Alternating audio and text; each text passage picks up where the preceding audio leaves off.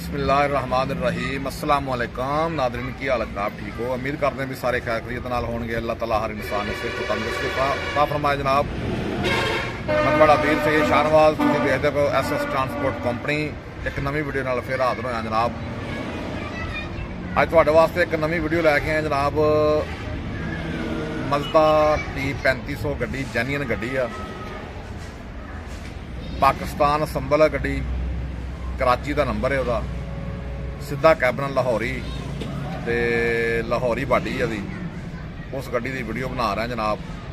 ਤੇ ਇਨਸ਼ਾਅੱਲਾ ਤਾਲਾ ਤੁਹਾਨੂੰ ਗੱਡੀ ਦੀ ਵੀਡੀਓ ਵਿਖਾਉਨੇ ਆ ਵੀਡੀਓ ਵੇਖ ਲਵੋ, ਫਿਰ ਵੀਡੀਓ ਦੇ ਐਂਡ ਤੇ ਮਾਲਕ ਦਾ ਨੰਬਰ ਮਿਲ ਜਾਏਗਾ ਔਰ ਤੁਹਾਨੂੰ ਲੋਕੇਸ਼ਨ ਵੀ ਗੱਡੀ ਦੱਸ ਦਿਆਂਗੇ ਕਿੱਥੇ ਗੱਡੀ ਖੜੀ ਆ।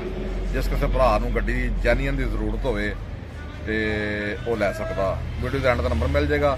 ਆਓ ਚੱਲਨੇ ਜਨਾਬ ਜਾ ਕੇ ਵੀਡੀਓ ਵੇਖਦੇ ਆਂ ਵੀਡੀਓ ਤੋਂ ਬਾਅਦ ਫਿਰ ਇਨਸ਼ਾਅੱਲਾ ਤੁਹਾਨੂੰ ਨੰਬਰ ਵੀ ਦਿੰਦੇ ਆਂ ਲਓ ਜੀ ਜਨਾਬ, ਇਹ ਗੱਡੀ ਜਨਾਬ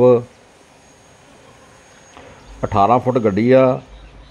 18 ਫੁੱਟ ਬਾਡੀ ਗੱਡੀ ਦੀ, ਸਿੰਧ ਨੰਬਰ ਆ JZ 8825 ਗੱਡੀ ਨੰਬਰ ਹੀ। ਸਿੱਧਾ ਕੈਬਨ ਆ ਲਾਹੌਰੀ, ਪੰਜ ਨਟੀ ਗੱਡੀ ਹੈ 18 ਫੁੱਟ ਲੰਮੀ। ਇਹ ਬਾਡੀ ਦੀ ਕੰਡੀਸ਼ਨ ਸੀ। ਇਹ ਆਪਣਾ ਜਨਾਬ ਵੇਖ ਲਵੋ ਪਹਿਲੇ ਫਰੇਮ ਆ ਟਾਇਰਾਂ ਦੀ ਕੰਡੀਸ਼ਨ ਆ। ਪਿਛਲੇ ਟਾਇਰ ਡਰਾਈਵਰ ਸਾਈਡ ਦੇ ਇਹ ਫਰੇਮ ਬੜੀ ਜ਼ਬਰਦਸਤ ਗੱਡੀ ਹੈ ਜਨਾਬ JZ 8825 ਗੱਡੀ ਦਾ ਨੰਬਰ ਜੇ 18 ਫੁੱਟ ਗੱਡੀ ਆ ਫਰੇਮ ਵੇਖ ਲਓ। ਲਾਲ ਲੱਕੜ ਦੀ ਲੱਗੀ ਹੋਈ ਉੱਤੇ।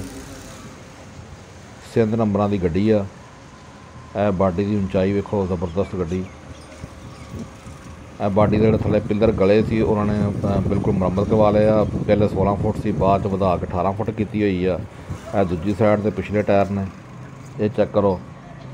ਪੰਜ ਨਟੀ ਗੱਡੀ ਆ ਜੈਨੀਅਨ ਗੱਡੀ ਆ। ਪਾਕਿਸਤਾਨ ਸੰਭਲ। ਇਹ ਫਰੇਮ ਵੇਖ ਲਓ।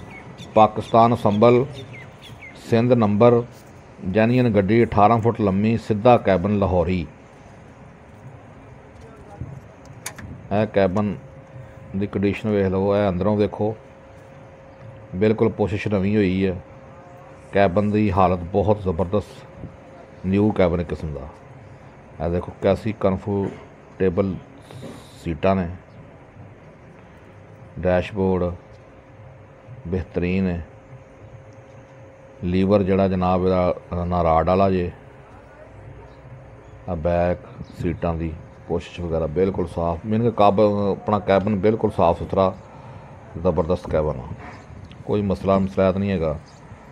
96 ਮਾਡਲ ਦਾ ਮਾਡਲ ਆ 96 ਸਮਾਰਟ ਕਾਰਡ ਬਣਿਆ ਹੋਇਆ, ਗੱਡੀ ਜੈਨੀਅਨ ਗੱਡੀ ਸਮਾਰਟ ਕਾਰਡ ਬਣਿਆ ਹੋਇਆ ਫਾਈਲ ਕਾਪੀ ਹਰ ਸ਼ੈ ਬਾਇਓਮੈਟ੍ਰਿਕ ਕਾਗਜ਼ ਕਲੀਅਰ ਹਰ ਸ਼ੈ ਕਿਧਰ ਮਿਲੇਗੀ ਤੁਹਾਨੂੰ। ਪੰਜ ਨਟੀ ਗੱਡੀ ਜੇ 18 ਫੁੱਟ ਗੱਡੀ ਸਿੱਧੇ ਕੈਬਨ 'ਚ। ਉੱਚੀ ਬਾਡੀ 18 ਫੁੱਟ। ਇਹ ਅੰਦਰੋਂ ਦੇਖ ਲਵੋ।